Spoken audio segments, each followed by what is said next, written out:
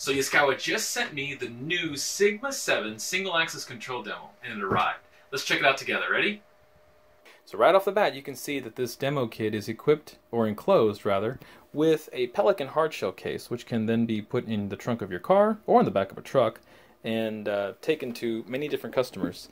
When you open it, you'll notice, of course, the Yaskawa logo at the top, but we have the Smart Panel 7-inch HMI, which is right now running a small program, just showing and modifying different pages right now. Uh, the breakout is for a USB port and then also an Ethernet port that can be connected. But uh, literally, your machine uh, could be run all from the HMI panel, which is connected to all these goodies here. So let's start with the amplifier or the servo pack. This is a Sigma 7 series with main power and control power on the left hand side, UVW connection for your servo motor, I.O. connector which breaks out the three uh, general purpose outputs as well as the alarm output, and then seven inputs as well from this one connector here.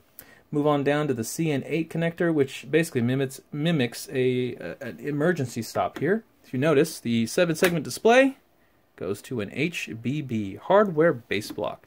Cuts power off from there. And that is actually cutting power to the motor, making uh, use of the safe, safe torque off or STO circuit. This is the connector for the encoder resolution at the back of the Sigma 7 series servo motor, which is right here. Nameplate you can find is on the side here, upside down. It's a 24-bit encoder, which means 16 million pulses for one revolution at the motor. In the front connected here are two inertia flywheel discs, which mimics a load to motor inertia ratio of 30 to 1. Move on down. We've got more inputs and a master. We've got well, we've got an analog input, master encoder, as well as some selecting switches here for the latch. If you go over to the right hand side, you've got the MP2600 IEC controller, which is the single axis control portion of it. Slapped onto the side, you now have a full motion controller uh, application here. Two Ethernet ports, one connector that actually branches out to give us one analog input, also an analog output, master encoder, and then the connections down here for taking that master encoder or even the encoder pulses from the motor out to uh, some other form of controller PLC. Let's not forget that there is also a USB, what we call the uh, dongle, USB MotionWorks IEC software floating license key. That is equipped also in this demo.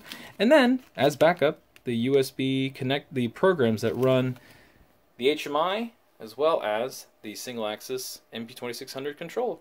I forgot to mention that the connector that, that is here actually breaks out eight digital inputs, eight digital outputs that are not shown in this demo.